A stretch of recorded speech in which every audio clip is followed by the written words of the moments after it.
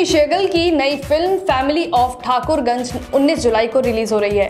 Film में उनके अलावा माही गिल, सौरभ शुक्ला, मनोज पाहवा और मुकेश तिवारी जैसे सितारे नज़र आएँगे। अपने इस फ़िल्म का प्रमोशन करने के लिए Jimmy शेगिल the Kapil Sharma show में पहुँचे। उनके साथ माही गिल, पवन मल्होत्रा, सुरेश शुक्ला भी मौजूद रहे।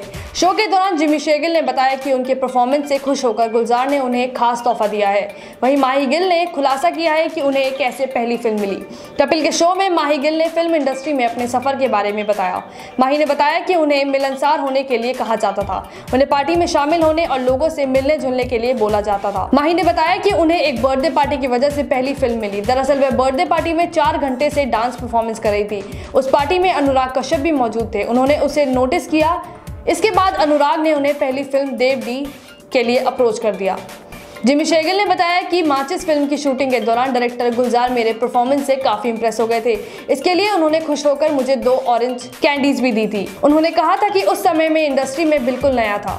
ऐसे में उस टॉफी का मिलना मेरे लिए बड़ी बात थी। इसके आगे जिमी ने बताया कि उन्होंने टॉफी को नहीं खाया, ये सोचकर कि ये टोकन है जो डायरेक्टर ने प्रशंसा के रूप में मुझे दिया है। गौरतलब है कि इसके पिछले एपिसोड में सिंगर अरमान मलिक ने भाई अमाल और पिता डबू मलिक के साथ शिरकत की थी। अरमान ने बताया था कि वह एक फ़ेमस इंटरनेशनल म्यूजिकल स्कूल में एडमिशन लेना चाहते हैं, लेकिन उस स्कूल की फ़ीस बहुत ज़्यादा थी।